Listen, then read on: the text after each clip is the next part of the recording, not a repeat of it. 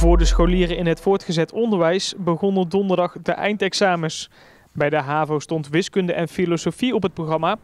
Bij het VWO Grieks en scheikunde. En het VMBO trapte af met biologie en Nederlands.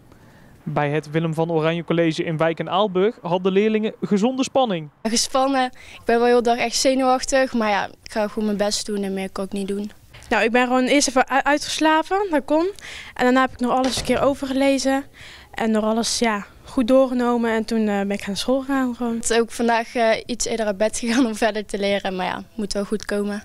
Dat zijn ze, de examens?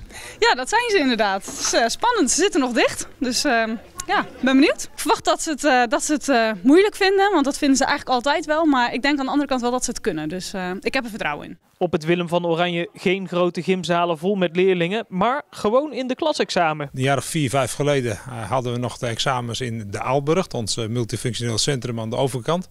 Nu doen we dat in de school, in een aantal verschillende lokalen.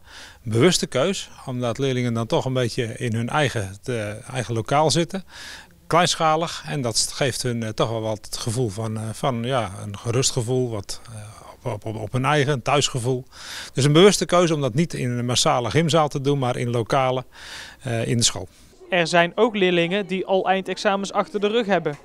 De basisberoeps- en de kaderberoepsgerichte leerlingen die, uh, hebben een flexibele examenperiode en kunnen vanaf 2 april al examens uh, uh, maken en afnemen. Het zijn ook vaak praktische examens. en die periode die mag een school zelf bepalen. Dus onze basis- en kaderleerlingen van de jaar 4 hebben al examens afgenomen voor de meivakantie. Dus die zijn al lekker klaar? Die zijn al lekker klaar.